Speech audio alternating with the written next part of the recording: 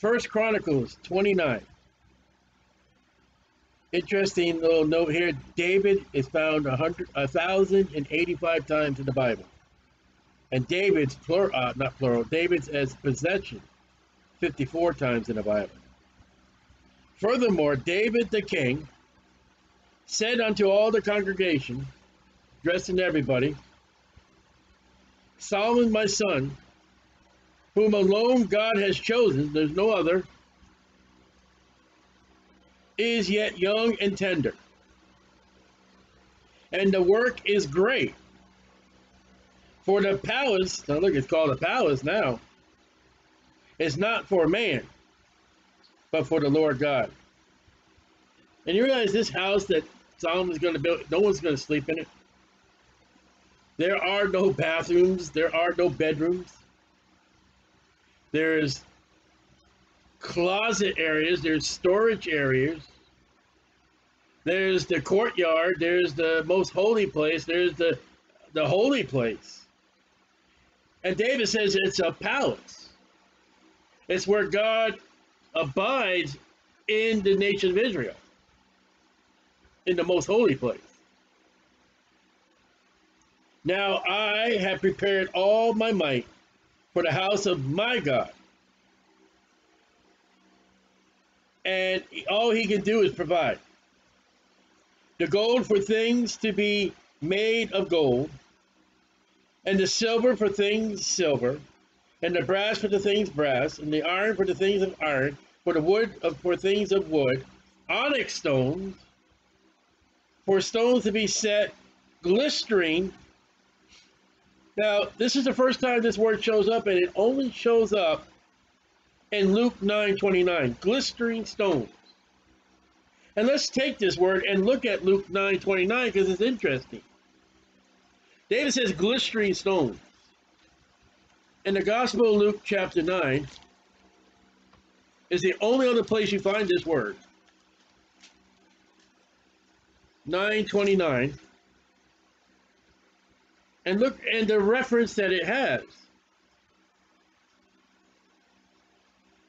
I'm in eight. I'm in the wrong chapter. I'm like, oh, that's not correct. Now watch this, Luke 9, 29.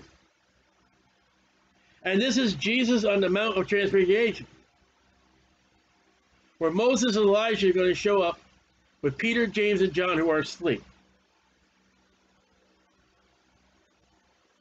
And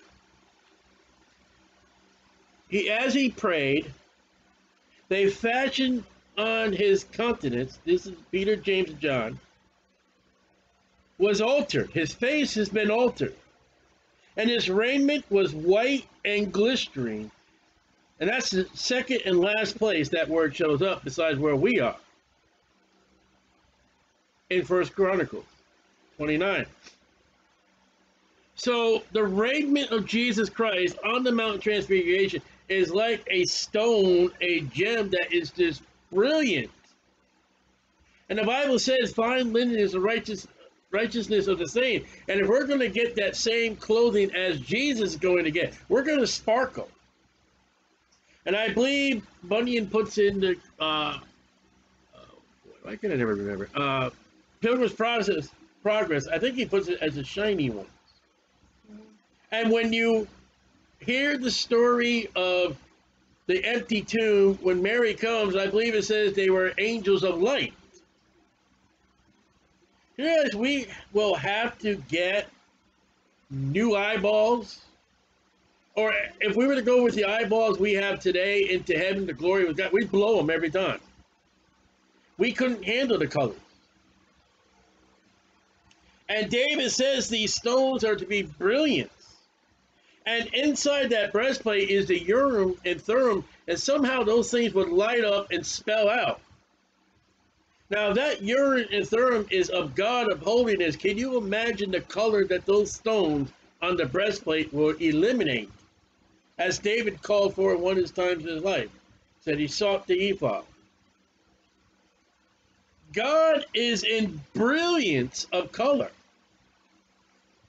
Look at the animal kingdom. Look at these new animals they're flying. And when they take their their uh, their submarines and go deep into the ocean, they're finding these beautiful colored fish. You see these pictures of, of the, the satellites and um, uh, Hubble. Who on earth is all that color for? I've seen these pictures of these stars and, and galaxies and the planets, and they're just absolutely good. We have a God of color.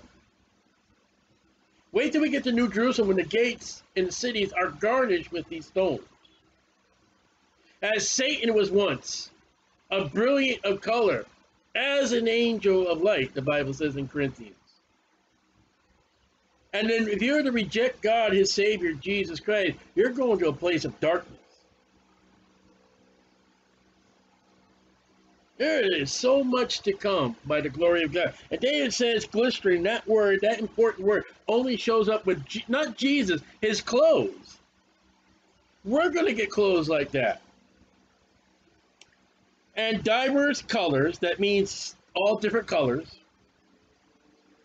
I would think if you get a box, of, the biggest box of crayons you can get and open it up, that'd be how many colors there would be in heaven, if not more and all manner of precious stones. And marble. That's the first time that word shows up. Marble. Stones in abundance. Man, you don't have just a bag of marbles. He's got abundance of them. Can you imagine what this place looked like? And how it decayed over the years with sin. Moreover, you mean there's more, David? Because I have set my affliction, that's the first time that word shows up. Affection, excuse me, affliction. On the house of my God. How many wives did David have? I lost count. There was a woman there washing herself. Oh, I gotta have her. Call her. And he calls out the house of God. Our emotions, our cares should go to the Lord Jesus Christ, not a building. And when people set, set their uh, uh, on a building, you're in the Old Testament. You're not upon Jesus Christ. I have of my own proper good of gold and silver, which I have given to the house of my God, it's not built yet, over and above all that I have prepared for the holy house. Now it's a holy house. Some people think their buildings are a holy house. God don't dwell in them.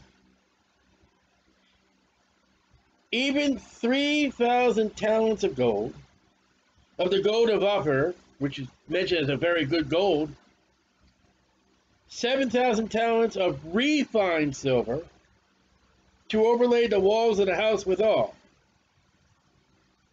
I don't read anywhere where, where Solomon overlaid the house with silver. It may have. I read he overlaid it with gold. Silver, silver in the Bible pictures redemption. Gold pictures king, deity, God, royalty. The gold for things of gold. Gotta be important. It's been repeated, and it's been repeated in other chapters. And the silver for things of silver. And for all manner work to be made by the hands of the artificer. The only other place that word shows up is Second Chronicles 34 11 that's the first place. And this is one of those words only two other places. Second Chronicles 34 11. That's somebody who makes something. And who then is willing to consecrate his service this day unto the Lord? Now look at that. David had like a, an altar call. All right, who else is going to come forth and give what I've given?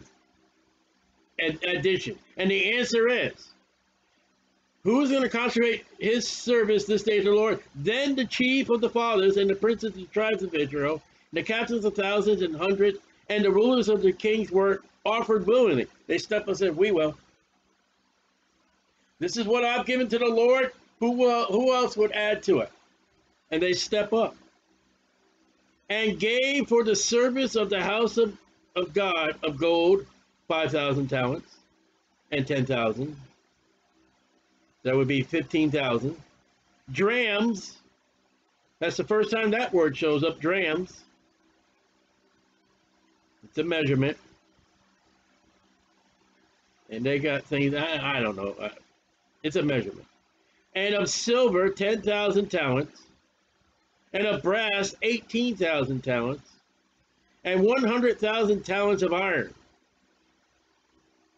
And they with whom precious stones were found gave them to the treasure of the house of the Lord by the hand of Jehiel the Gershonite. So they're giving gold, they're giving silver, they're giving brass, and they got stones. They're they're adding to David's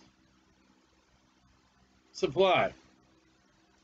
So this house of God is not built by Solomon alone.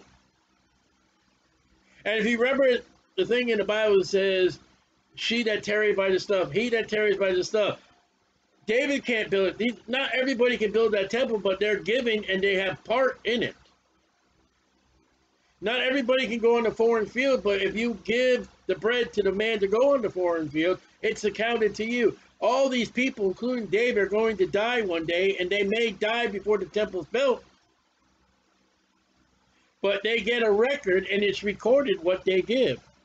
Then the people rejoice, for they that offered willingly, how's that? There was no force. There was no, you got to do, you have to do, please do. There's no 26 announcements by David. David said, all right, who's going to consecrate themselves to service? And they'll just step right up and say, here we are, here we are, this is what I got. Uh, I got two diamonds, that's all I got. Is that good enough, David? That's, that's well fine. Uh, I got some gold here, David. I don't have silver. That's fine. David, I got some wood. That's all I got. Hey, we need wood too. I got some nails. I got some iron. That's that's good. I'll give it all to the Lord. And we find this same giving in in Corinthians to the Christian. God loves a cheerful giver.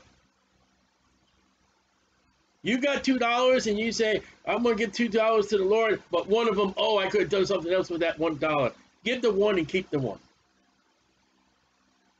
Cheerfully give those that two dollars, and what are you going to? That woman that gave her two mice, said, she gave it to the Lord. The other people, the rich people, Jesus said, they just threw it in there. This is my abundance. So here I go.